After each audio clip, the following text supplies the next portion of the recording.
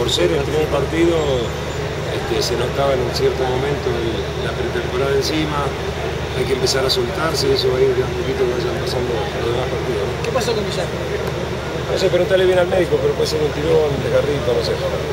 Recuperaste un jugador importante como Russo también en Sí, todos van a tener la oportunidad de jugar, sabemos que esto nosotros tenemos que pensar más allá de, estos partidos de, de pretemporada, tenemos que pensar en, en el 12 y en el 16, donde se van a iniciar dos campeonatos importantes y donde tenemos que tener a todos muy bien. ¿no? ¿Qué es lo que más les gustó del equipo? No, en general y por, por, ser el primer partido, lógicamente tenemos cosas que corregir, y, pero por ser el primer partido me voy muy, muy conforme.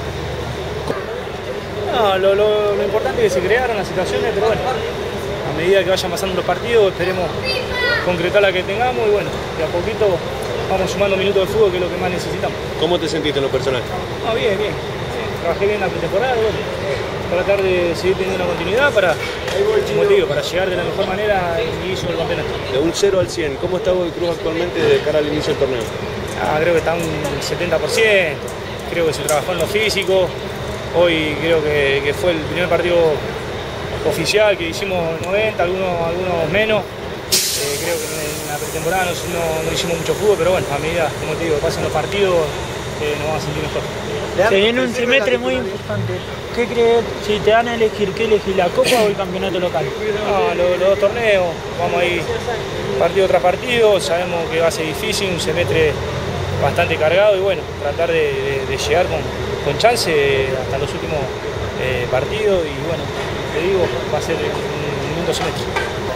La verdad que no, creo que es un 4-4-2 que quiere que, presionemos sobre todo en mitad de cancha y bueno, y después tratar de jugar.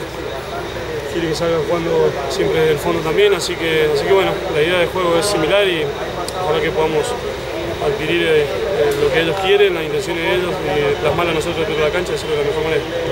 Sí, sí, creo que ya nos conocemos también, eso, eso ayuda mucho.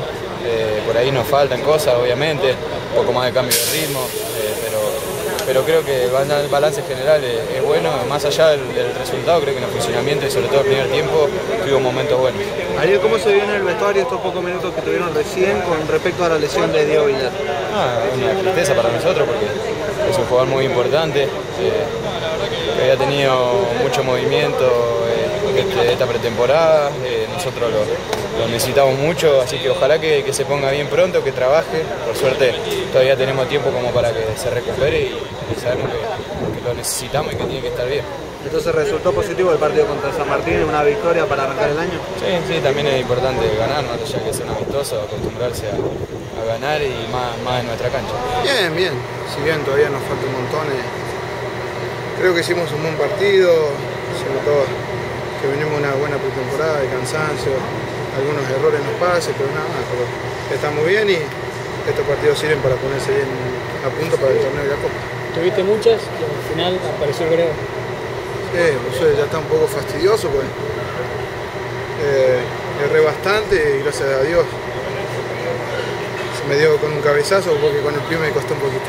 Bueno, a nivel personal, en dos temas que pasó de, de, de Boca, de, te pedía Boca, Pacioni, que iba venía Silva, y que al final, bueno, Neri Pumpido te pidió, o el club, eh, puso lo que había que poner para que te quedes en el club.